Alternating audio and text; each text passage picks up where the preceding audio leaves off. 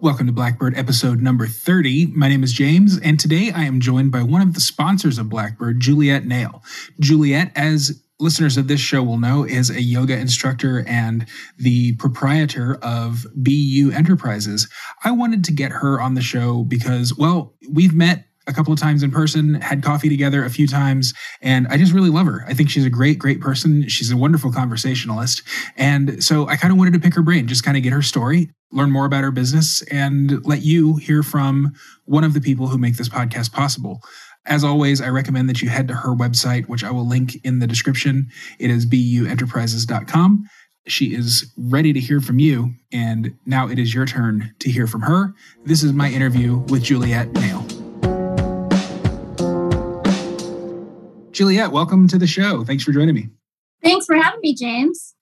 So you are you were my first sponsor actually for Blackbird, and as we've kind of gotten to know each other, it has I got interested enough in like your story and your path and your areas of interest and stuff like that that uh, I thought it would be fun to have a little conversation recorded. So that's why I invited you on. Why don't you kind of introduce yourself to the audience since you know most people don't know you yet? Thanks. So, um, like you, well, I haven't been around the liberty movement as long as you. I think you're 2008, but um, I've kind of been in and around since 2012, um, both locally. I live, I've lived in Minneapolis um, since about 2004. Um, and then I did some work with, I don't know if people remember Robin Koerner and Blue Republican back in the day, but um, and I also now I'm helping out on a podcast called Quaker Libertarian. Um, so you know, a lot of us have that journey where we started out libertarian and ended up agorist, and um, I also followed that that normal. What's the, what's the joke? Like the difference between a libertarian and anarchist is six months. Um, so I definitely followed that route, and especially as kind of more and more things that we all saw coming years and years ago came to pass, especially with COVID, you know, it kind of became clear even activism isn't going to work, lobbying isn't going to work. You just got to create the world you want. And um, so that's kind of, um, you know, I've been focusing on my garden, I've been focusing on trying to get healthy. And um, so with COVID, my yoga, I teach Pilates and, and uh, I've taught Pilates and uh, what yoga and senior fitness for years and years and years. I was an athlete when I was young. I was a runner, and um, so with our practice with COVID, everything went down. So uh, we had to practice online. So I realized that I could expand my teaching online. I had had this business idea in the background for a long time. I have a, a background working in Silicon Valley. And, you know, I've, I've worked the drudge day to day like everyone else. And um, I realized that exercise is awesome. We should have exercise. We should all do PT, diet, all of it. But we can't just wait until we get home to feel better, right? We're at work 40 hours a week. So whether you're at your desk or you're driving a truck all day from work site to work site, or you're on your feet at a restaurant, or you're, um, you know, you're the caretaker at home, we're doing tasks all day long that kind of wear on our body and we might feel frustrated, tired, disconnected, you know, all that stuff. We're, we feel trapped. Or you know my um, my marketing lady's like you're planted in one spot all day. And kind of what we do at BeYou is yes we encourage all those other things exercise diet all that. And, and um, most of our trainers do our personal trainers yoga teachers. So you can link to that from our site. I, as i said i teach a couple classes.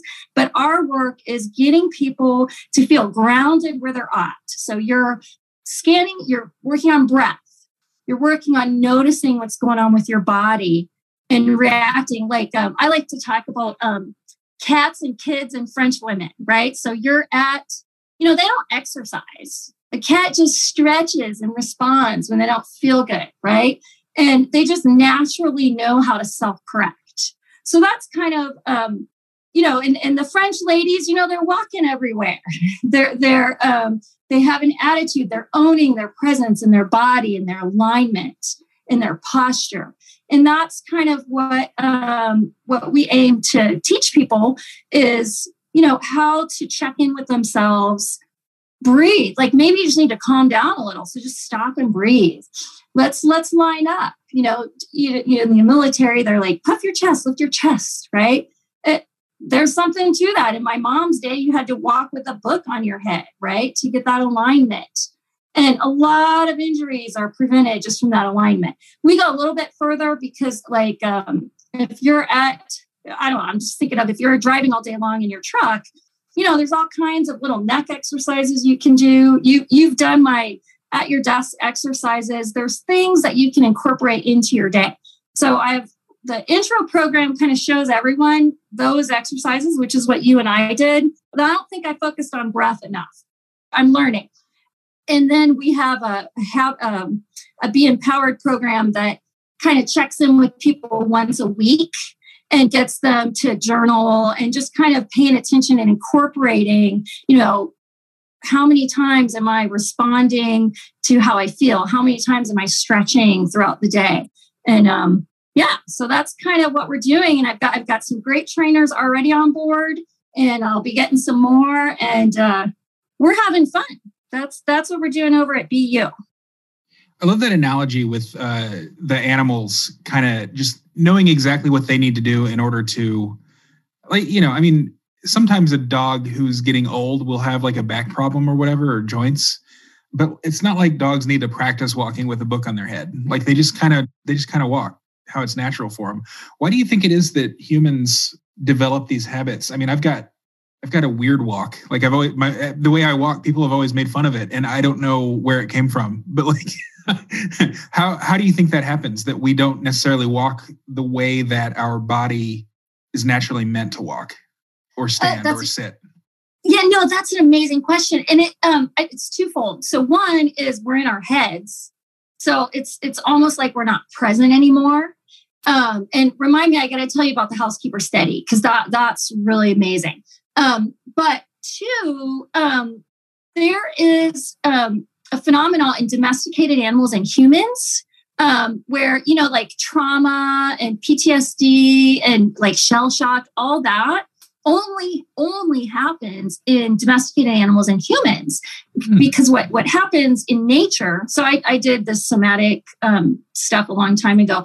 What happens in nature if a, a lion's going to attack you and eat you the deer uh, is either eaten or it, it initially freezes and then it runs away and it shakes. It shakes that trauma and that anxiety out where um, humans and domesticated animals we get stuck in the freeze and we actually hold that stress and that trauma in our body. So, kind of what I'm trying to get us to do is uh, I'm sure you've heard all the statistics of, um, eh, you know, like driving, when you're driving in your car, that's the same level of stress as being chased by a tiger, you know. so, what we're trying to do is like, hey, let's calm down that nervous system with our breath. And then we're moving, we're getting that alignment so things don't hurt. But really, it's about that reactive movement and that self correction. And a lot of what it is is a release. Like it is just bringing those arms up and down. It, jumping jacks are the best thing in the world. Dance. I mean, we don't do those things at work, but you know what I mean? It's shake it out big part of our work is release it, shake it out, and move on to the next thing. So, yeah. Yeah, and I mean, stand up straight with your shoulders back is Jordan Peterson's first rule for life. So it's probably uh, it's probably important. Um, according to him, not only is it not only is it just good for your posture and and you know the physiological benefits of that sort of thing, but it also like grants you the air of confidence that people interpret as like it's what can cause you to like rise in your social hierarchies. That's where his his big lobster analogy that uh he's you know often criticized for but uh you know the the the gist of it basically is that you know we've had social hierarchies for hundreds of millions of years. It goes all the way back to lobsters which have the same chemical receptors in their nervous systems. I don't even know if lobsters have like a proper brain, but you know, I mean, if you inject lobsters with certain brain chemicals that humans also use, like the ones that are in antidepressants, then they also have a reaction, the same sort of reaction that you would expect from a human taking those meds. And it can also cause them to feel more confident and raise rise in their social hierarchies. But merely having good posture impacts that brain chemical in much the same way that an antidepressant can. So you're definitely onto something, I think. Uh, well, and when you know we all listened to jordan peterson back in the day and that yeah like that really resonated with me now I, as, an anarchist i was a little caught up on the hierarchy thing um, and then i decided you know i don't need to worry about that. It, because if in our in our uh, libertarian paradise or anarchist paradise you know our hierarchies can be voluntary right? Mm. so yeah and the, the the the the deal with the deal with hierarchies i mean whether they're whether they're imposed by a state or an employer or whatever or just they come into they come into being naturally um they're going to happen. Like you you can't not have a hierarchy. Otherwise it literally is the chaos that that non-anarchists think that anarchy is. Anarchists we know that you know society can be self-ordering if we but let it self-order. And part of that order is hierarchies. But in nature it's more like what are you good at? If you're you know i mean if you're better at gardening than i am then i'm not going to try to out garden you the competition there isn't needed. Um, right. I can learn a lot from you. I mean i've just this week i've been sending you pictures of my tomatoes to make sure that they're not dying you know? Right right. Well and here's what's interesting. Um so i kind of see it, the leadership and hierarchy thing is. uh, well, I was initially very resistant to any acceptance of hierarchy um, just because of my views. And then also, you know, like you, I'm a cradle Catholic, but I've been a practicing Quaker since 1989. I was like mm-hmm. 19. And uh, Quaker governance, like what I see, I think 12 step programs are like this, are non hierarchical. They are consensus government. Gov- governance, right? Mm-hmm. Um, but there absolutely is leaders in that realm. And um, so, I mean, I think maybe the trick is hierarchies are going to happen. Um, is it the only method of governance? I don't think so. I, I think your your key is self ordering and voluntary, right? Yeah, absolutely. I think I think we're certainly on the same page there. And actually, that reminds me of my interview with Per Bylund from several months ago. I might have to go back and re listen to that because he talked a lot about hierarchy as well. And I think that my view on it might have evolved since then. So I'm going to put a link to that in the show notes um, just so everybody can kind of get on the same page as it, as, or not on the same page, but kind of like level set to use a damn corporate uh, jargon term. So, so speaking of corporate jargon, nice transition there. You originally BeYou Enterprises, I think, and this might even be your current primary focus. You want to really focus on uh, like corporate wellness programs. Is that right? Can you can you talk a little bit about that? So, so that is in the long term plans. Um, I think mm-hmm. in working with my marketing person. Um, so, so yes, we do want to go to corporate clients. Like, like actually, I was talking to some people at Trader Joe's last week, whether it's office or retail or whatever. Absolutely, we, we want to tap that market. Cool. Um, my um, my consultants are like, you know, right now that would be let's step back. That would be employer sponsored, right? Like get those corporations to pay for that for their employees, right? Um, my my team that I'm working with, my consultants are like, right now, um, let's focus on the employee or the worker the you know that we're sponsoring it. So it's the, the entrepreneurs the people that are working at home because of covid um, you know just self-sponsoring right now. So it's it's both and it's both and for sure but um, the people that are paying me now are self-sponsored so yeah so we do want to go into corporate but I don't want people to think that it's only for people at your desk. So I know we have people that drive all day that listen to you. I, we have people that um, that are on their feet all day, and we, you know, we can work with that. It's wherever you're at. Um, let's sit there and try to figure out what's going to work for you. So that brings me to my housekeeping study. Hmm, so, yeah, um, that's a that's a good. I, I read about this in your kind of preliminary notes. This is really interesting isn't this amazing? So this is like from NPR, like I don't know, ten or so years ago, and um, there was a study done on housekeepers, and they they um, in the, the study group, they made a connection from you know vacuuming making your bed dusting sweeping all that stuff to exercise and how they're moving and uh, you know how this was a lot of work they were doing right how it was exercise and the control group um, they didn't tell them anything like that and at the end of the study those who were taught that they were exercising. So basically, they reframed what they were doing. Um, they lost weight, they developed more muscle, they felt better, they had less frustration, they were happier. I mean, obviously, the last few things are subjective, but um, you know that's kind of what we're doing is we're reframing. And I and I love um, the gal I'm working with. Um, she gave me this metaphor of we want to be grounded as opposed to planted and stuck in one place all day. So our, you know, when our housekeepers reframed and grounded themselves, um, they they felt great and they realized they were exercising all day long. So so that's kind of what we want to do for um, whether it's actually we have a program we can we can help you correlate your gardening physical work with what you're doing you know with with this work or you're cooking all day.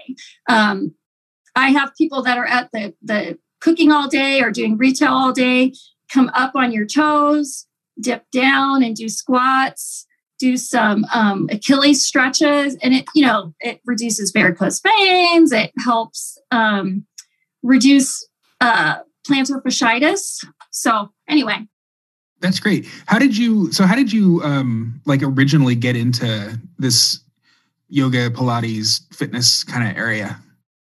So I I was an athlete when I was a kid. Um, so I was um, I was actually this is funny because I, I didn't do collegiate and I didn't like I've been pretty sedentary as an adult until the last 15 years or so. So um, I was inducted into my high school Hall of Fame in 2019 for, uh, which is easy when you're when you're kind of old. I'm 50, um, but I was probably the first female uh, runner to, um, you know, to do pretty well, right? So I I started running super young and competing because my sisters were doing it.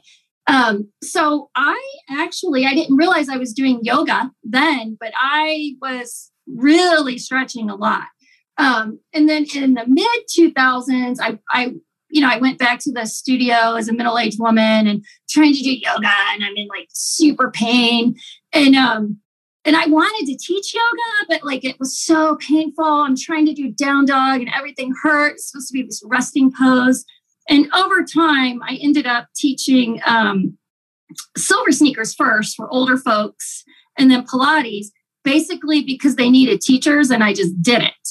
And then um, later I did do yoga, but even after doing the full training, I couldn't connect it to my body. I was trying to look like the other yoga teachers and it wasn't working. And it wasn't until I tapped into what little um, so my name is Juliet. I was called Julie. It was the 70s, right? Little Julie, you know, what did I feel when I was getting ready for a race? When I started tapping into that, and and and um, feeling the poses and then started teaching it that way like teaching my students. You know when you worked with me you know i would say feel it in your hamstring feel it in your achilles. Yeah. Um, to make that connection because i think i mean i don't know about you i lost that ability. And if i'm trying to look like somebody else i'm not dealing with my geography my anatomy. And um so i'm not I'm not going to get the benefit if I'm trying to look like you. You know, I need to do my down dog.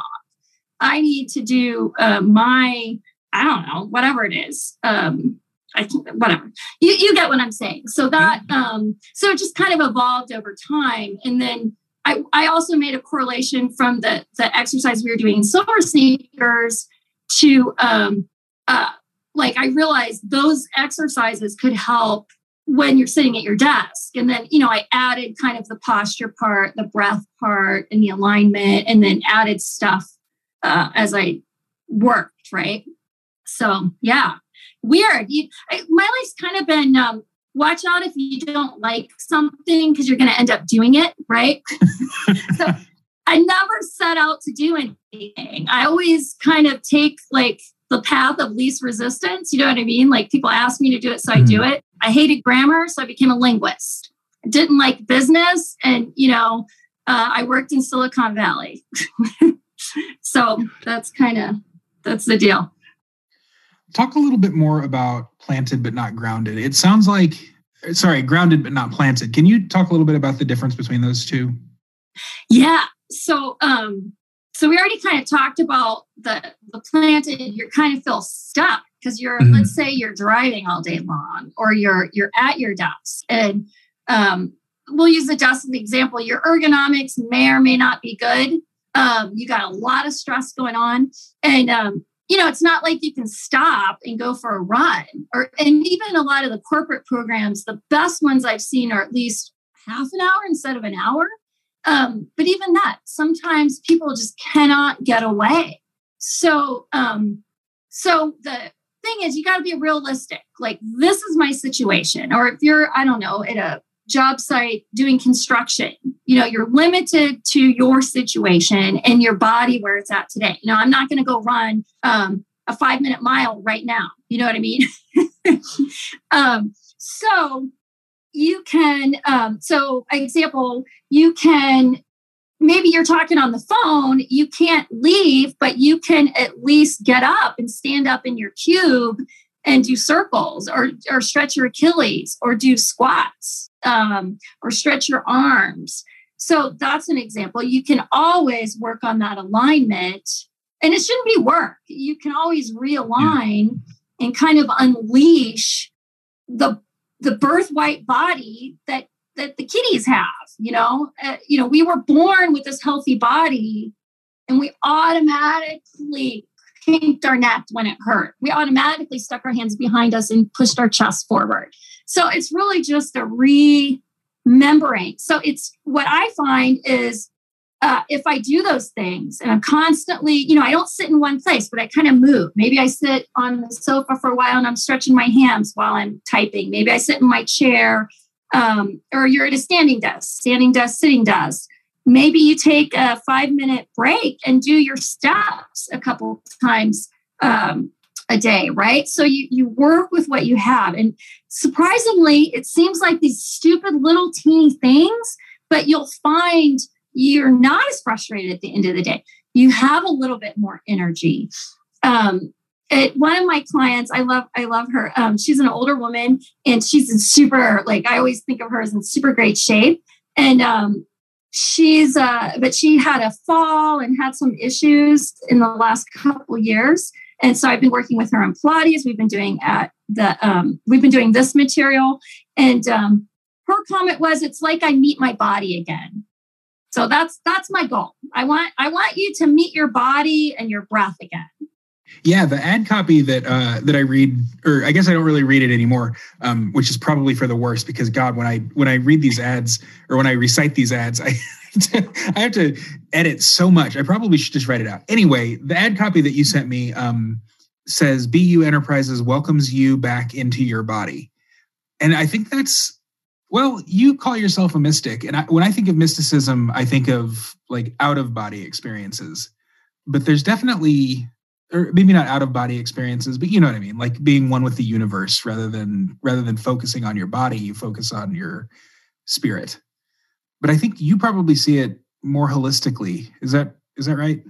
Well i don't know that it's more but what i'm trying to do is use your body as the access right? Um and use what's in front of you so okay so you're catholic i don't did, did you get confirmed uh yeah uh, okay, eighth grade so, i think Okay, so my confirmation saint was Saint Teresa the Little Flower. A little bit of a family saint. Oh my gosh! I, that, but apparently, apparently, yeah. I'm related to her. oh my gosh! Really? Yeah, isn't that crazy? Um, at least that's like the family lore. Her uh, her last name is Martin, and um, my mom's maiden name is Martin. Oh, we'll have to explore that more. Um, yeah. so, so the two of us are a bundle of religious and, and philosophical contradictions. So so Catholic Quaker agnostic. So here's the trick, James. It's not just mystic, it's agnostic mystic, right? So mm-hmm. the hmm. agnostic piece is what uh okay, so I've experienced this thing that feels pretty mystic, but I don't really know what that is. And I don't really care what that is, right? But St. Teresa's thing, as you know, and she was a family saint, and my sister was named Teresa for her. My uh, grandma, great grandma, had a relic of St. Teresa's. I don't know what that means. Uh, but I chose it. I chose St. Teresa, the little flower. And her thing is the little way, the little way. So let's do those little things. Let's do those little things. And it's just crazy how those little things make a difference. Um, a colleague of mine was working with a trainer and you know she's on the phone she's on zoom calls all day long. She's working at her, her kitchen table and um, her trainer had her you know did a little bit with diet but not a lot. The what she, the trainer had her do was go up and down her steps four times like twice a day. She lost 27 pounds. Um, now, what I'm, my work is not really about losing weight or whatever, because I think we're already beautiful right where we are. We're already mm-hmm. perfect. But that doesn't mean, you know, back to your Jordan Peterson thing, you know, you're always moving forward or backwards. That doesn't mean just stay. It means, you know, work with what you got. Don't feel any guilt because you've gained a couple weights or like right now I was outside and I realized, oh, I got, I need to tone a little on my legs. you know, I'm 50. I'm 50. I can have a little flat once in a while. You know what I mean? and uh, and actually, my doctor, like 15 years ago, she was like, just don't let two weeks of not working out turn into two months. And if you do, don't let two months turn into six months. And that um that kind of changed my life, right? Because you you're gonna you're gonna be well doc, our common doctor can we can we shout out his name? I think we can right? Yeah sure. Uh, and actually he might actually listen to the podcast at this point well so. dr lesky i love him because you know he's not super touchy-feely um, but he gives it to you straight. And he says you're moving towards health or you're away from health. And he'll tell you if you're like you know if you're coming and getting adjustments but you're not working out or doing physical therapy or doing any of this. He'll be like, yeah, I can adjust you, but it's not going to do any, it's only going to go so far. Right. mm-hmm. So you're moving towards health or away from health. So yeah. And Dr. Lesky. To Dr. Lesky. which Dr. Lesky, uh, he's so he's our chiropractor. Um, Juliet and I live kind of near each other, actually. Actually, if you're in the Twin Cities, um, particularly in the western suburbs, look him up. I'll put a link to his clinic. Uh, he's fantastic. But uh, yeah, I do wonder that moving toward health and moving away from health thing, like, how do you know if you're moving toward health? Like, I mean, for me, I can, I can, for instance, go on a keto diet and just lose a shit ton of weight, but like I'm living a completely sedentary life, you know, and and and I can feel it. Like climbing the stairs, I get winded, even though I'm lighter than I was a month ago. On the other hand, I can, you know, eat what I want and go to the gym, not lose a pound, uh, but feel mentally and physically way better. What do you think like the the the ideal balance there is? To me, like I, I kind of want my cake and to eat it too. Um, I want to be able to live a leisurely life. I want to be able to eat whatever the hell I want. I want to, you know, exercise when and if I want, but not anymore. And also feel good and healthy without any trade-offs. What do you think is a is a good balance for that? Well, I think it was your latter of the two, right? It's um how do you feel, but really tune in with how you feel.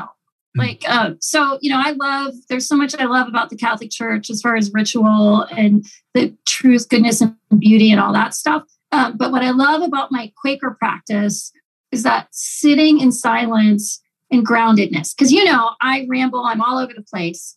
I need to sit and focus. And I, I think this work, be you, that, that it's that, it's get yourself grounded and, uh, and whatever that is. Like, um, like I actually, I actually do best if I say a rosary every day with with the the whole thing with the mysteries, right? I'm not saying I do that, but it, it's a form of meditation. It is grounding for me. It does not have to be that. Um, it might be brushing your hair, or I don't know, you guys are shaving. Um, what are those things that ground you and feed and nourish you? So, um, so that is like that kind of thing is part of the homework in the Be Empowered, the 12 week, 15 minutes a week program is getting people to um, kind of journal and look at what are those self care things. Like I, I take um, sometimes two baths a day because that if I'm stressed out and I'm like, ah, I go take a bath or I go in my garden. Cooking will do it. Cleaning will do it for me. I don't know. What grounds you? What grounds you, James? Boy, well, okay. So I had, well, had, had, I have been going to the gym. And last week I was so busy and so stressed that I just didn't do it. I didn't go to the gym a single day last week. And I felt it. Like, I don't know if it was just the, the stress that I was already under, um, given my my workload last week was pretty high, or if it was the lack of exercise and and not just exercise, but that routine of going to the gym specifically. But like I was on the verge of tears all week, just with stress. Like it wasn't it wasn't like I was sad. I just was just a ball of tension. So for me, I think definitely the routine of going to the gym is part of what grounds me. Also, oddly enough, doing the dishes and listening to podcasts while I'm doing the dishes, that's definitely something that uh and and, and there we go. That I had like early morning meetings. What I what I do, my daily routine, I wake up and I go I take my dog out and I go in the kitchen and I put on my podcasts and I do the dishes from last night's dinner. My partner loves it because he doesn't have to help with the dishes and I love it because that's like my moment of meditation before I go to work. And I didn't do that much last week I think we even ate out a couple of times, so like there were no dishes to, to do, and I, it just threw me off. Maybe that's what it is. Like the routine is what is what I like and what makes me feel grounded. James, here's your homework for this week. Download the Day One app journal, okay? And, and every day you're going to just pay attention to what grounds you. So for you, dishes is is health enhancing. and and you could add the little rep, the little uh, go up on your tiptoes and drop to your um, uh, squats while you're there, and and uh, you could do. Um, I do Achilles stretches there. The big one I do is up on my tiptoes, down to flat, and then um, uh, squats because I have I get plantar fasciitis really fasciitis really bad, varicose mm-hmm. veins, and um, and then I have a knee injury, so the squats are really nice. So um, but what so that what I just said, that part is actually less important than the meditated calming effect of the dishes on your routine in your day. Mm. So routine, so you know that's self-care for you and dishes. So what and I'm sure I have a feeling listening to your podcast, you love to cook. And I have a feeling cooking uh, is healing and grounding for you. Am I wrong? Oh yeah, no, uh, I do love to cook, and I also even more than cooking, I love just being in the kitchen, standing there over the stove or over the cutting board or whatever, and listening to a podcast and just sort of actually, it's weird how much podcast listening is like part of my grounding routine, I guess. But so so that, but then also sharing that meal with others, specifically, you know, every night with my partner, but also, you know, when we have people over for dinner or whatever. I love that. Well, and your alignment, you know, so that's an opportunity. Is I would encourage you. Yes, you're going to pull in and all of that, but um, I when I worked with you that that session, I wasn't. Um, I probably should have emphasized a little bit more the lifting up and out of your joints. So yes, your shoulders are in your back pocket. Yeah, you're pulled in, all that, but you're lifting up and out of your joints, and that that's the Jordan Peterson thing, right? The yeah. um, I think my back in the 50s, my mother was told to shine her headlights. Shine your headlights, James. Is that a reference to her boobs? Yes, but that's so funny. yes, I'm sure that that would be considered creepy today, but I still love that. Shine your headlights, shine. So, because uh, that's kind of what this is about. I I I want to shine. I want you to shine. And and actually you're an extrovert. So I would say extrovert or I'm okay, I'm putting that on you. I observe extrovertedness in you. Um, I imagine that's part of your healing and your grounding too, a certain amount of of connecting and the work. Yeah. This work is part of your healing and health too, right? Yeah, well, and that's part of why 2020 was so awful for me. Uh, prior to starting the podcast, I was a I was just a mess. I, I had hardly any human contact, and actually, you know, even before COVID, I was working and still am working in a full time remote job. Um, like even after the pandemic's over, I'm not going to have an office to go back to. Eh, but what I would do when I was working remote was I would like go to Starbucks or somewhere and and work there for the day, just because I needed to have that like outside the house, talking to people, seeing people, uh, having people see me. Sometimes even just striking up a conversation, that kind of thing.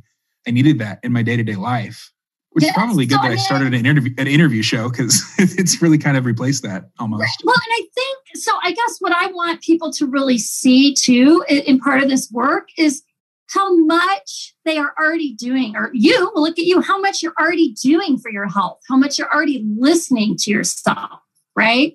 You're listening to your body. So I, I really think you know acknowledge yourself and thank yourself like I, I i finished my pilates classes um, with a hug.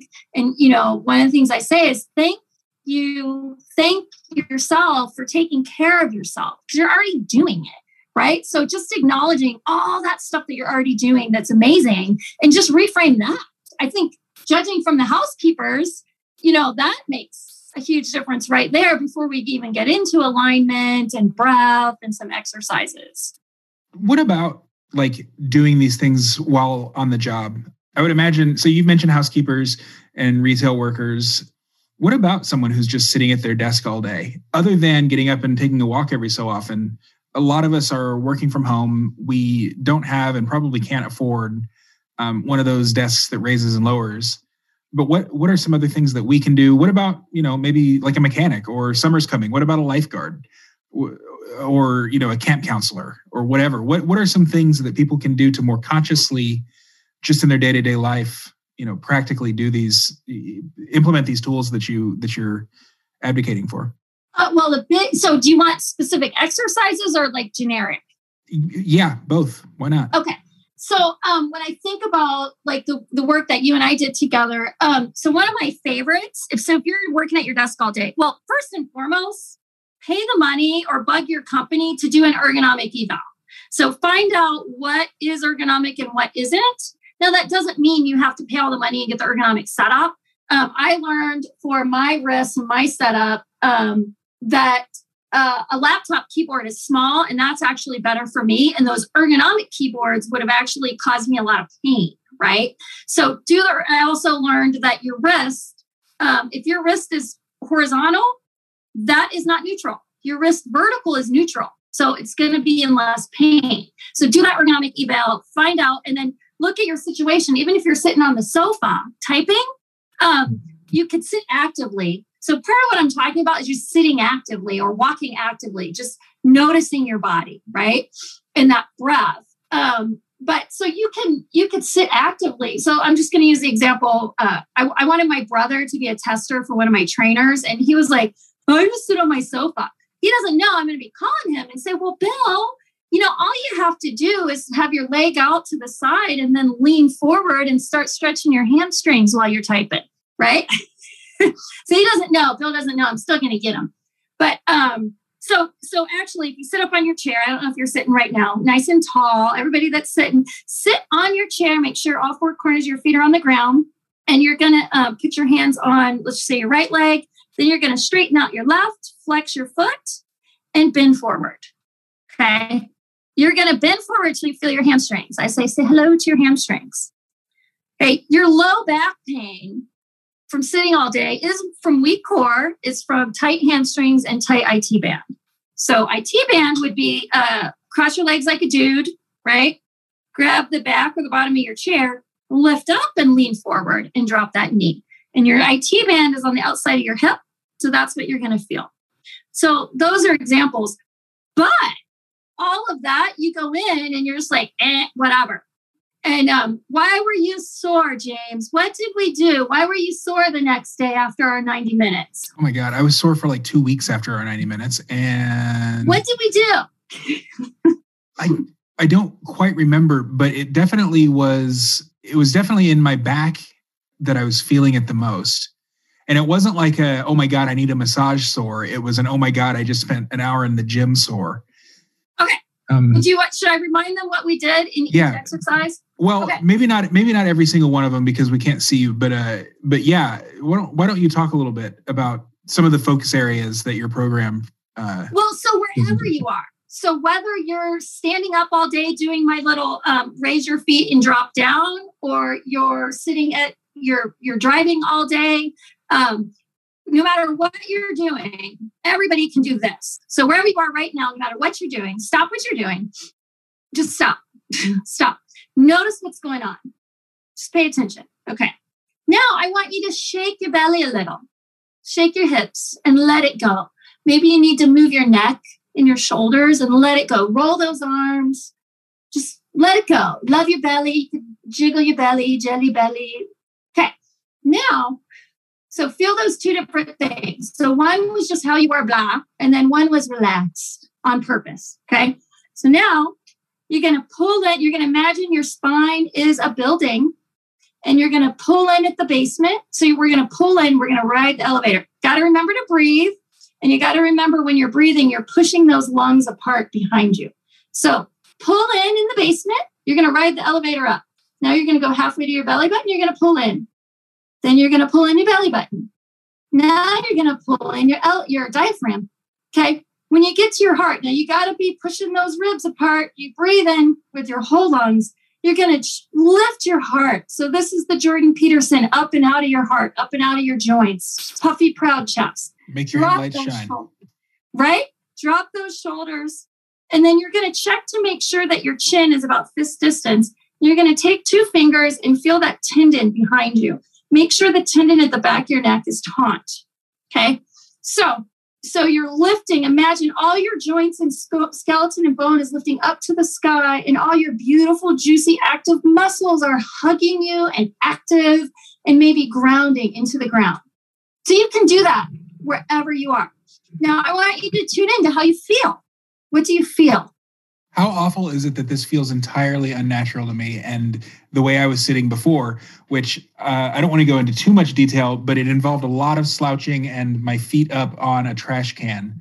So that makes you human, James. I do it. Um, I've been doing this heavy duty work with the marketing lady, and she won't let me do what I just did with you. So, so this will be the first time she gets to see the work I do. So that what I just did with you guys, we do a shorter version, but my me, my trainers and I do that in every movement we take you to, and then we do more focus on breath. Um, because when you're so so now, so go ahead and let yourself slouch and just whatever, and then in an instant think active and Jordan Peterson lift.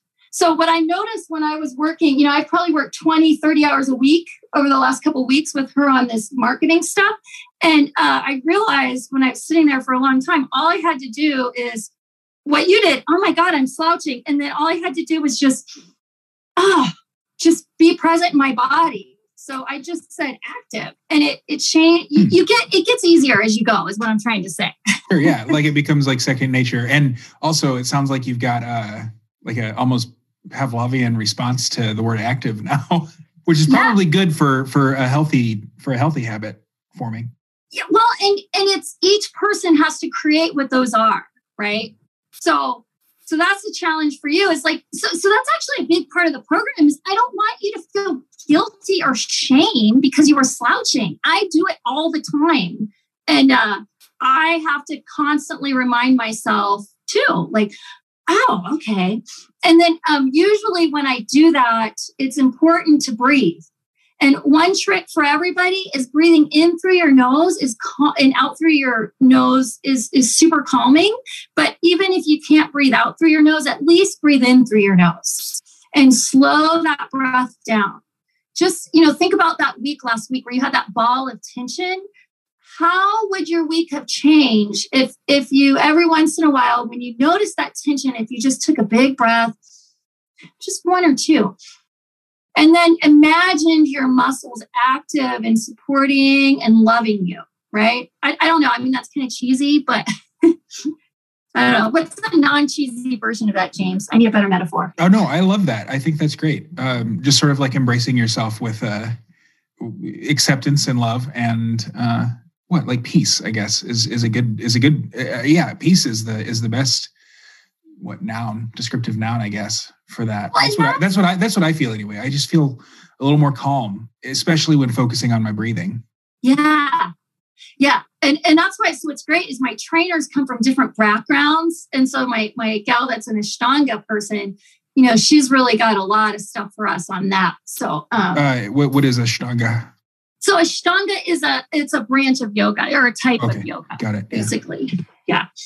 So yeah, it's it's um I'm just so grateful to, to do this work. And as as activists and liberty folks, you know, a lot of people we have businesses, we're doing all this stuff, and then you, you're we're finally doing what we want, and then like we don't have time to take care of ourselves. Well, that's baloney.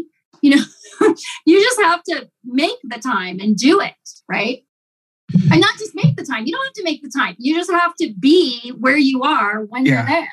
You can incorporate it into the time you're already spending. And I think um, while we were talking, one thing that I'm going to do for sure is get a wireless headset uh, so that I'm not tied to my desk while I'm on these Zoom calls all day. Not not the not the podcast Zoom calls, but like the the ones I do for work. I mean, there's really no reason that I need to be sitting at my desk for for a meeting. You know.